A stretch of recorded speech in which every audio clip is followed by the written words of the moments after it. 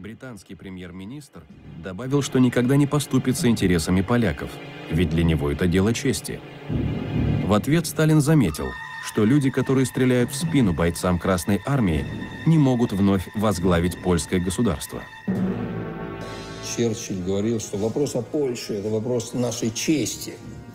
И Сталин сказал, ну, для Черчилля это вопрос чести, а для нас это вопрос жизни и смерти. Потому что